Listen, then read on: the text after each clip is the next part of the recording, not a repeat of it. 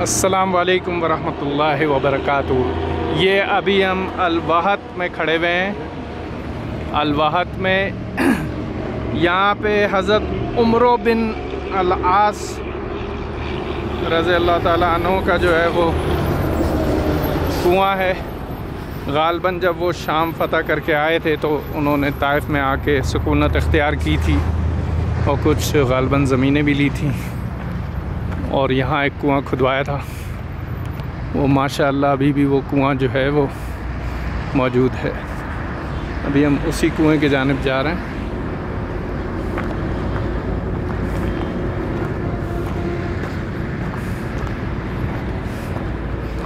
ये पुराने कुछ आसार भी हैं यहाँ पे, वल्लाह आलम।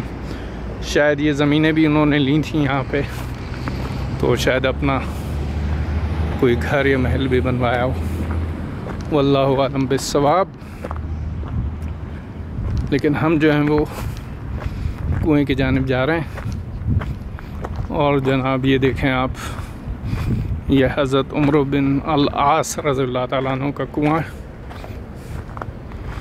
जो आज भी मौजूद है। अलैक्म वरहमतुल्लाह।